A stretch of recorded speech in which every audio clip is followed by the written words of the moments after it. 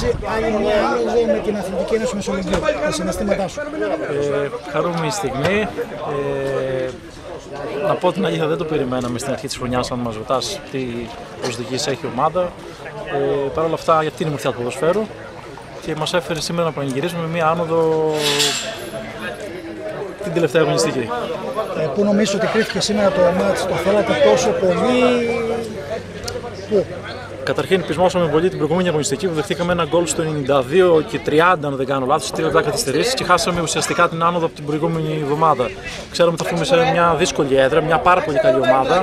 Ε, σίγουρα η βαθμολογική τους θέση τους αντική θεωρώ. Ε, Εμείς όμως έπρεπε να κάνουμε μόνο ένα πράγμα, να σκεφτούμε ότι πρέπει να μπούμε μέσα και να κερδίσουμε για να πάρουμε την άνοδο. Ε, μόνο αυτό σκεφτήκαμε εμείς, οι συμπαίχτε μου. Συγχαρητήρια στα παιδιά. Ε, θεωρώ αντάξια των προσδοκιών, καταφέραμε και πήραμε την άνοδο. Και μια τελευταία ερώτηση με δύο σκέλη.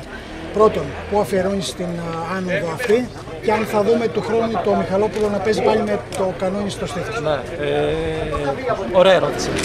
Καταρχήν αφιερώνω αυτή την άνοδο στη γυναίκα μου. Θεωρώ το αξίζει. Ε, είναι εδώ και 14 χρόνια δίπλα μου σε όλο το, την πορεία μου. Στο αφιερώνω μέσα από την καρδιά μου. Ε, όσον αφορά τη δεύτερη σκέλος της ερώτησης, είδαμε. Ευχαριστώ πολύ. συνέχεια. Να είστε καλά.